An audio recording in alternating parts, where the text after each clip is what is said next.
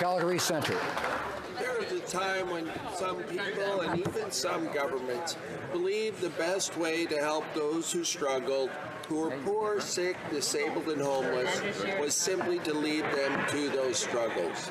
Sooner or later, they would simply pull themselves up by their proverbial bootstraps, and magically all would be solved. Our federal Liberal government disagrees and understands that sometimes people need a hand up. That's why I'm proud of our national housing strategy that invests $40 billion to improve Canadians' access to safe, affordable housing, with the first project being built right in my home city of Calgary. Investing in housing affords people a sense of dignity, a sense of purpose, and a place where they can build their lives. Because let's think about it. How can you build a life if you don't have a home? In short, you can't.